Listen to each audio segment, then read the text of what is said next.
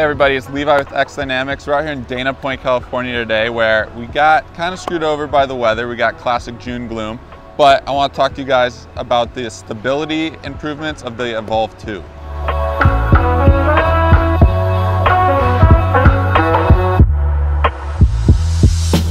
First up guys is our 13 inch Dynawing 2 propellers, which feature a slightly raised tip, which create an airfoil which reduces drag over the prop and increases stability.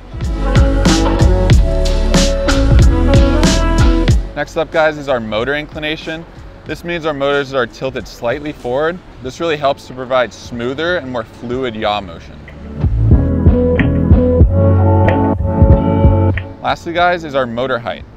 So between our front and rear motors on the Evolve 2, there's a 38 millimeter difference, which really improves the prop wash and control of the aircraft.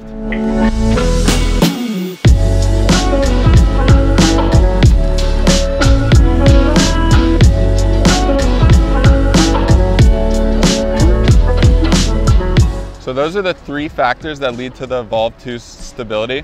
They're all quite technical and you don't need to worry too much about it, but you need to know is the drone is as stable as possible and you should feel confident flying it in almost any conditions. So I hope you guys liked the video today and I'll see you next one.